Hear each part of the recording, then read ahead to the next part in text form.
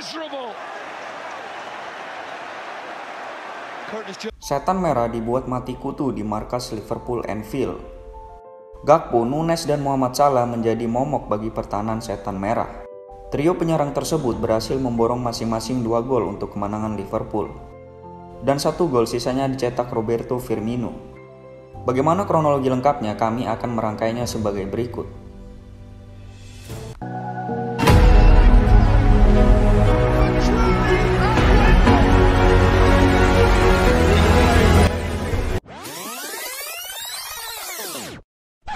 Liverpool menjamu Manchester United di Anfield pada lanjutan Liga Inggris pekan ke-26 pada Minggu 5 Maret tadi malam. Liverpool yang bermain di kandang sudah menunjukkan permainan menyerang sejak peluit pertandingan dimainkan. Muhammad Salah dan kawan-kawan beberapa kali mendapatkan peluang lewat Darwin Nunes dan Gakpo. Tapi pertahanan setan merah masih terlalu kokoh untuk ditembus. Manchester United yang tidak tinggal diam beberapa kali mendapatkan peluang dari Bruno Fernandes. Tapi sundulan Bruno masih melebar di sudut kanan pertahanan Liverpool.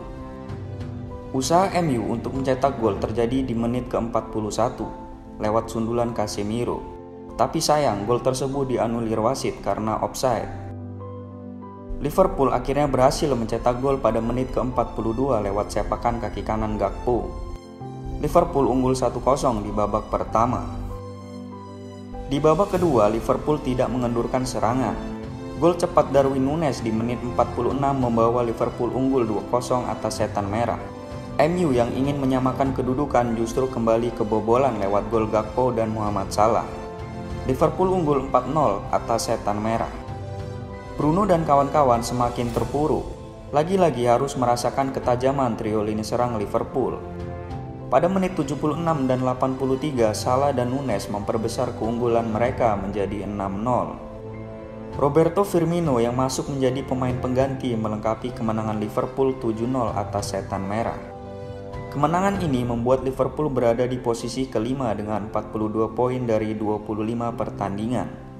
Dan MU masih di posisi ketiga dengan 49 poin dari 25 pertandingan.